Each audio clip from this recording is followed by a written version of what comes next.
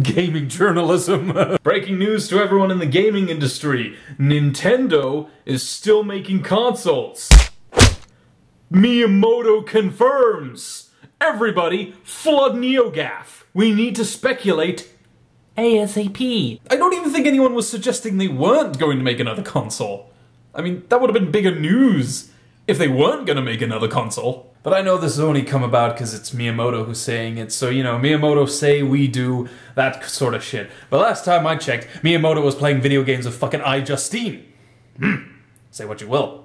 Anyways, thanks for watching. This was mostly a test of my new camera and its awesomely surprising microphone.